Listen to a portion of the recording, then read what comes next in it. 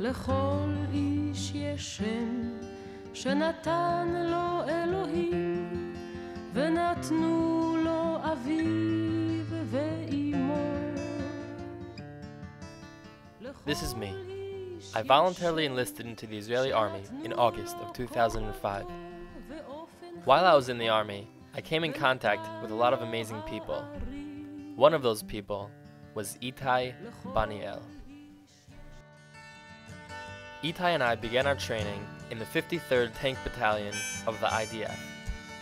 After six difficult months, we completed our training and were sworn in as full-fledged members of Tzahal. After the ceremony, I was sent along with most of the unit to serve on active duty, while Itai was sent, with a select few, to a special course in order to become a tank commander. I completed my service in the middle of June, just a few days before Itai returned to the Pluga as a Mefaked. Itai approached his new role with great enthusiasm, and he soon gained the respect of his fellow soldiers. But shortly after Itai's return to the Pluga, the war in Lebanon broke out, and as the fighting escalated, our Pluga was sent to the front lines.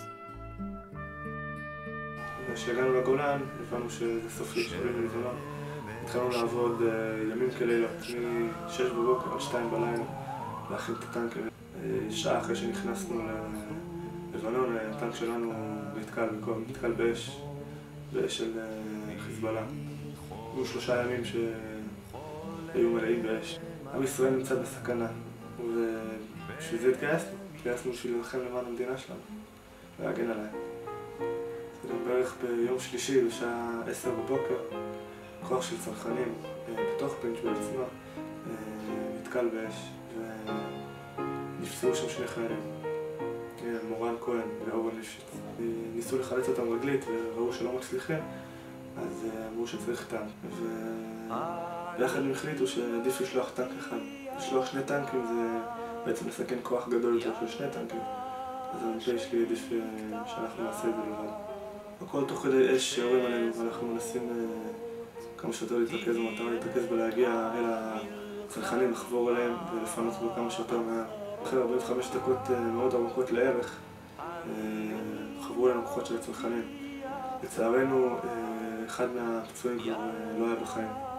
פשוט כשכבר נכנס לטנק, סגרנו את הטנק מיד והתחלנו לנסוע לכיוון המסוק. שהרופא כל הזמן יושב מתחת לתותח עם הפצוע בין העיניים שלו ומנשימים אותו. ככה בערך עשר דקות נסענו עד שהגענו למסוק. ואני יצאתי ראשון מהטנק, הבטחתי לראות שאף אחד לא מתקרב. הכוח של 669 חבר אלינו, וביחד הם לקחו את הפצוע למסוק. כל זה כמובן שיורים מסביב. המסוק המריא ונסע, עלינו מהר לתוך הטנק, השתפצענו בתאים שלנו, נכנסנו, עשינו מה שצריך לעשות, והתחלנו בנסיעה. בדיוק כשהתחלנו להיחלץ ולחזור לתוך המגנל, נחשפנו לכוח של חיזבאללה שערה עלינו ארבעה טילים. לא ראיתי ולא שמעתי, אני לא הייתי בטוח איפה אני נמצא, אם אני בחיים או לא בחיים. One of the missiles blasted through the arm of the tank, sending shrapnel flying into Itai's neck and shoulder. He lost consciousness, and like the soldier he risked his life to save, Itai had to be evacuated by helicopter to a hospital. Miraculously, Itai survived, and while I was in his house, Itai showed me an x-ray taken shortly after his injury. זה הנס הפרטי שלי, זה העמוד שדרה שלי, זה השיניים פה. ואני מודה לאל כל יום שהבסיס הזה, השרפנר הזה, לא נכנס עד כמה סנטימטרים. מסתכל על זה כל פעם ואני נדע מחדש איזה נס יש לי. לא כולם מצליחים להבין מה בדיוק קרה ואיך קרה. זה חשוב לי אבל להדגיש ולדעת שבדרגים הנמוכים, בדרגים שלנו, עשינו כל מה שיכולנו. כלומר, עשינו כל אחד לעשות את העבודה שלו בצורה הכי טובה, עם אמונה שלמה בעם ישראל, ואמונה שלמה במטרות של המלחמה הזאת, וברצון שלנו לחיות חיים של עצמאות, חיים של ביטחון, לא חיים שהם, שהם בצל הטרור. אנשים, בפלוגה שלי ובגדוד שלי, ואני מאמין שבכל הצבא, עשו כמיטב יכולתם בשביל